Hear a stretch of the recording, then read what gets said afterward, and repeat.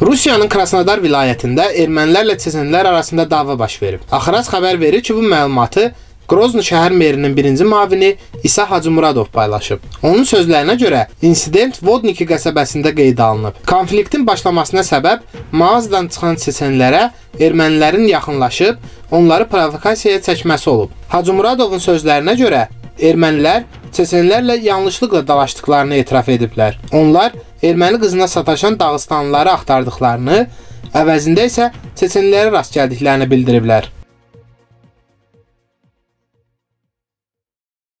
Əziz izləyicilər, əgər kanalımıza abunə olmamısınızsa, videonun aşağısındakı abunə ol düyməsini və zınqrov işarəsini basın. Videonu bəyənməyiniz və şərh yazmağınız bizim üçün önəmlidir.